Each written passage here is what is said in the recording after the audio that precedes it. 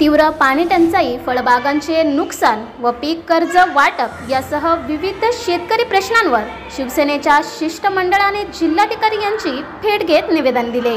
शालना येथे जिल्हाधिकारी कार्यालयात शिवसेना उद्धव बाळासाहेब ठाकरे पक्षाच्या शिष्टमंडळाने जिल्हाधिकारी विवेक पांचाळ यांना भेट देत उन्हाळ्यामुळे उद्भवलेल्या तीव्र पाणी टंचाई फळबागांचे झालेले प्रचंड नुकसान पीक कर्ज वाटप तसेच अनुदानासंदर्भात निवेदन देण्यात आले. यावेळी शिवसेनासह संपर्क प्रमुख माननीय शिवाजीराव चोथे साहेब जिल्हा प्रमुख भास्करराव आंबेकर साहेब जिल्हा प्रमुख आसाराम बोराडे साहेब जिल्हा प्रमुख माननीय अध्यक्ष अनिरुद्ध खोतकर साहेब जिल्हा संघटक जिल्हा प्रमुख सभापती भानुदास नाना घुगे उपजिल्हा प्रमुख हनुमान धांडे रमेश गव्हाड भगवान कदम जालना तालुका प्रमुख हरिहर शिंदे बदनापूर तालुका प्रमुख जयप्रकाश चव्हाण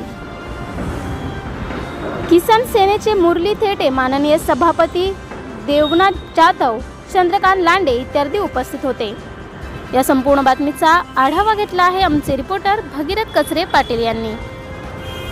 ब्युरो रिपोर्ट लोकहिंद वृत्तवाहिनी. नमस्कार मी धनश्री पाठरे. तुम्ही पाहत आहात लोखिंद न्यूज चॅनल.